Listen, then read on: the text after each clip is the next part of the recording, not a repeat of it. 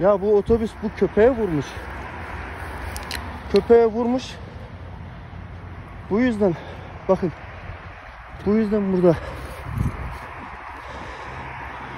Evet şurada köpeğe vurmuş. Dolayısıyla otobüs dengesini şaşırıyor ve orada kaza yapıyor. Otobüs şoförü uyumamış. Her şeyin sebebi bu köpek. Otobüs köpeğe vurmuş. Baksana abi. Köpeğe vurmuş. Otobüs belli ki buradan eee, yuvarlanmış mı? Buraya mı takılmış? Evet, teker izleri şurada. Buraya bu kanala girmiş ve şuradan evet şuradan uçmuş gibi bir şey ya.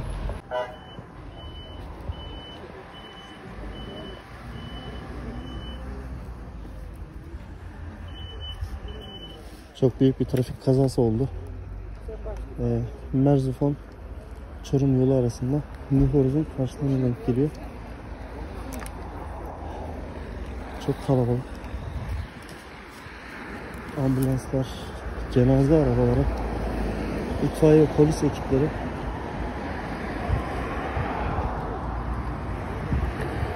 Maalesef jandarma da burada hatta. Maalesef 13 tane ölü olduğu söyleniyor. 8 8 civarı olmuş kaza sanırım.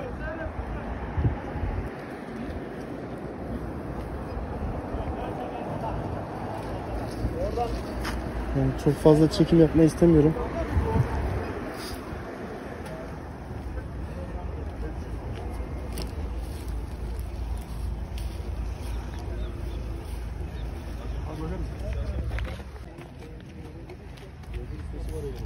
Çekim yaptın mı abi?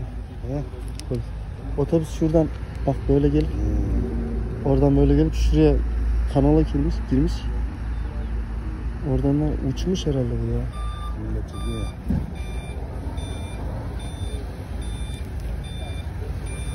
Vinç bu ya, vinç mi geldi?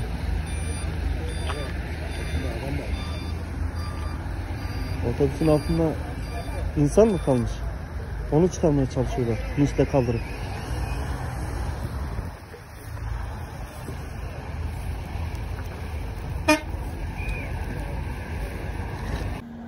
Otobüs şoförü uyumuş değil mi?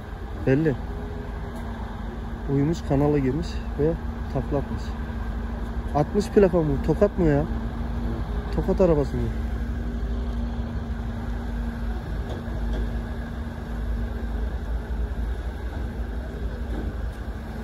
Çek çek.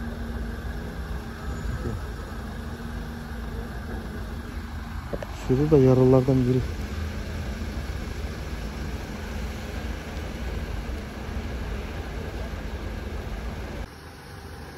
Evet bu trafik kazası hemen Beta'nın önünde olmuş. Buradaki e, sapakta.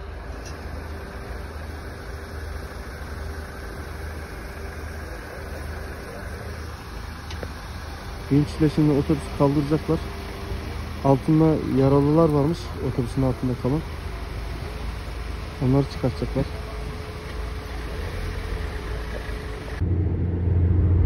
Arkadaşlar ben şimdi kolay kolay trafik kazası ve ölüm haberleri yayınlamamaya çalışıyorum. Hepsinden haberim oluyor ama özellikle yayınlamamaya çalışıyorum.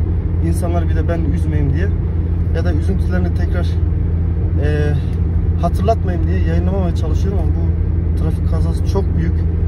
13 tane ölü var ve sebebi bir köpek. Köpeğe çarpmış otobüs ve dengesini kaybediyor. Ee, uçuyor mu diyeyim artık?